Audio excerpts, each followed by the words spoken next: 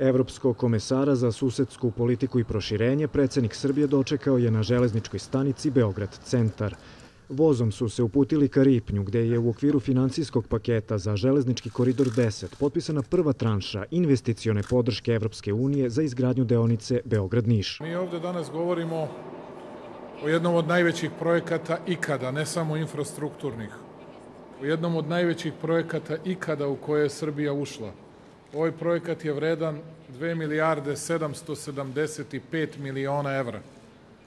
Od toga sve od 2000. godine, dakle od kada radimo sa Evropskom unijom, ukupno u infrastrukturne projekte je uloženo 420 miliona evra, nama Evropska unija daje, govorim u grantu, bespovratnih sredstava, nama Evropska unija sada daje 610 miliona evra na poklon. Finansijska injekcija Evropske unije oživeće i revitalizovati prugu dugu 228 km na kojoj put sada traje u proseku 6 sati.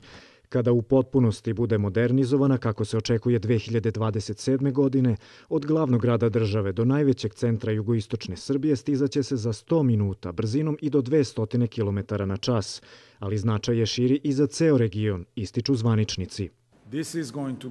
To će biti kičma glavne trgovinske rute, zato što će to povezati Srbiju, ne samo sa severom, već i sa zapadom ka Crnoj Gori, zatim sa jugoistokom, Bugarskom, Severnom Makedonijom, Grčkom.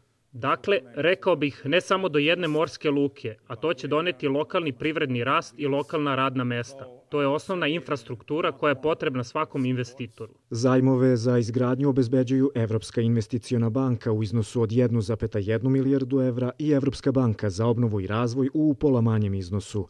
Otvaranje nove stanične zgrade Beogradske glavne železničke stanice Prokop predsednik najavljuje za 20. oktobar.